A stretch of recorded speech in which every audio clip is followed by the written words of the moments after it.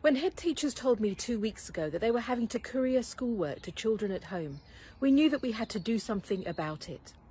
Over a thousand children in Hounslow don't have access to a computer or the internet. And that's why local education charity Hounslow's Promise has teamed up with the Hounslow Education Partnership to get kids connected at home.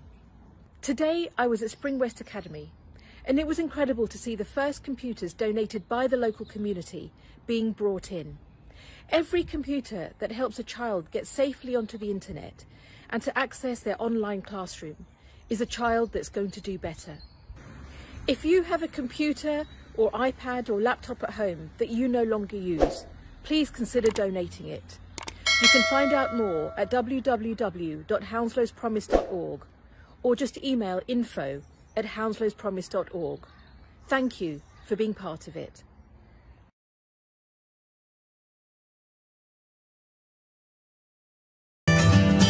বিশ্বের কোথায় কি ঘটছে, তৎক্ষণাৎ জানতে চোখ রাখুন GB নিউজের পাতায়, GB news twenty four dot com.